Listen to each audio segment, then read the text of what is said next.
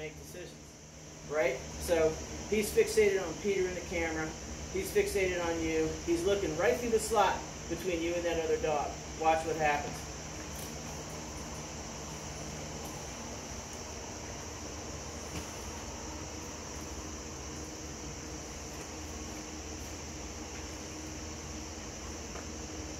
Good lad. Right? The reason why is because I corrected him for his inattention. Okay? I didn't use my hands. I didn't create a bunch of drama. You, Yeah, but you did use your hands. no, no, You- I didn't. Watch what I did. Watch what I did. I used my leg. All right, and again, he's move over just a little bit, Peter, so he can look right down the slot. Right, so he's looking at Peter. Okay, he's a little bit more aroused. But you look at him, he's looking right in between you at the dog in the crate. That is correct. I Good can see that. lad. Right? He broke off because he knew the last time he did that, weird things happen. Watch my hands. My hands don't move until after the correction is made.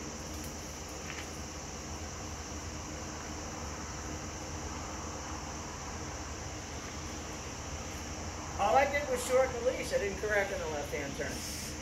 So you're, Sit. Good. Make sense? yeah. This is about being proactive, right? Mhm. I see where his head is going because I'm watching where these things are pointed, right? If he's looking away, I'm correcting to the right. If he's looking across, I'm correcting to the left.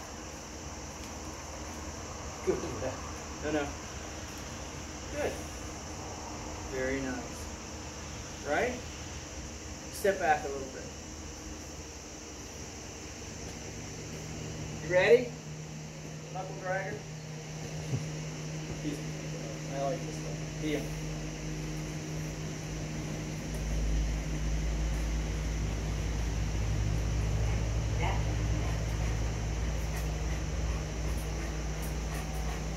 And again, I'm just letting him figure out where he's supposed to be. Now he's eye stalking the dog in the crate, right? But watch what happens. When I tense up, he tenses up, right? See how he's fixated already? I'm going to send him forward, and then again, draw his attention back to me without having to use a lot of force, right? He's already in that zone, Yes. okay? Uh-uh. Thank you. I'm not moving until what happens. Until, well, you, until you ask him. No, no, I'm not moving in the direction. He wants to get on the table. I'm not moving until he does what? Looks at you. Exactly. Right? I'm going to facilitate that process because now he's fixated on the dog.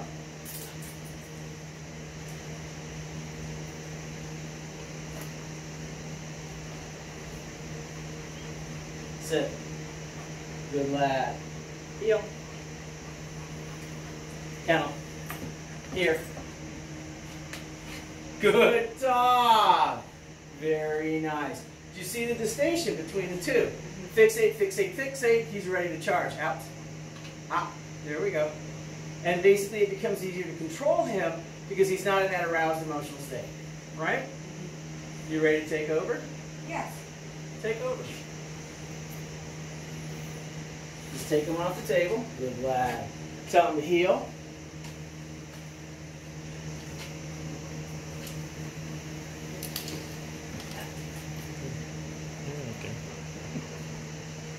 Put your left hand at your navel, not at your butt. There we go. When you, you have to make a left hand turn, you are going to have to use your left hand to pick up the leash. Okay, and again, we don't use our hands to activate that correction, we use our legs.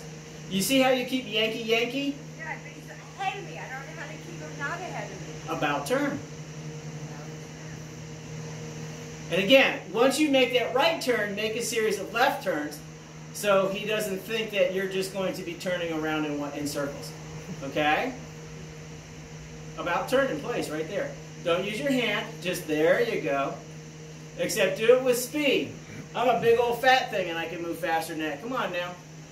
Keep your hand at your side. Stop arcing it away from you. Again, use your leg. This is about speed. See how you keep using that hand? Stick your left thumb into your or your right thumb into your pant pocket. Your no, your right thumb, right thumb, pant pocket. Now keep your hand there and just now. If you step forward with your left leg, it's going to hit make contact with the leash, right? So step forward and pivot on your right heel.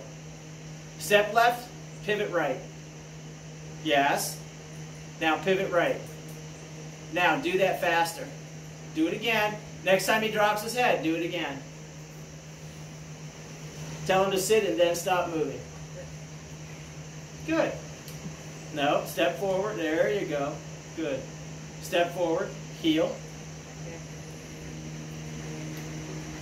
Take him to the table. Kennel.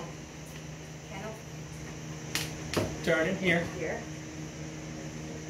Don't here. create drama. Sit. See that? Did you die? Did you die? No? Didn't die? Neither did he, right? Here's the thing. When you expect drama, you get drama. Okay? When you don't expect drama, drama never comes. So when you continue to drag on that line, you're creating that tension. He doesn't have any place to go mentally. He's got no more bandwidth. He's focusing on whatever it is that's causing that, that tension. Okay? The minute you let the leash go and he has to make a decision himself, he's like, oh, okay.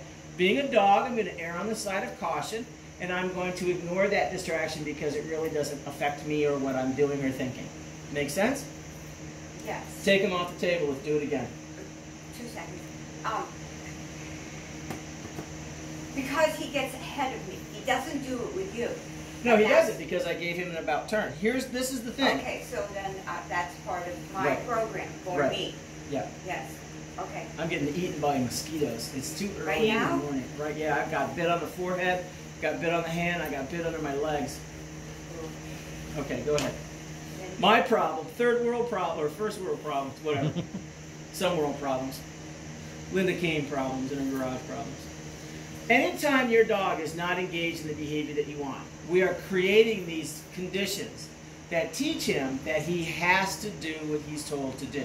So if you say heel, he has a precise heel, okay?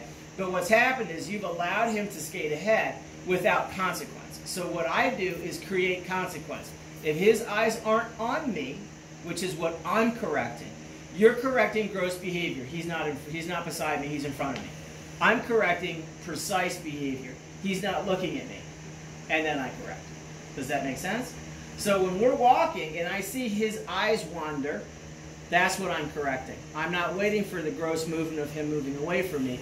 I'm correcting the thought so I can perish the Okay, deed. so how are you correcting the thought that he and that he's not looking at you? I make an aggressive turn, either to the right or to the so left, or the about turn. Yes. Mm-hmm. And he, when he drops his head, when he's looking ahead and not looking at you, when he's looking to the left, I turn right. When he's looking to the right, I turn left. When he's looking for our head, I'm making the about turn. But I'm making those close quarter corrections with my legs, not my hands, because I don't want my hands to be part of the equation. You start moving your hands, he can see it, right? If he's not paying attention to the leg because he's too far forward, he can't see that.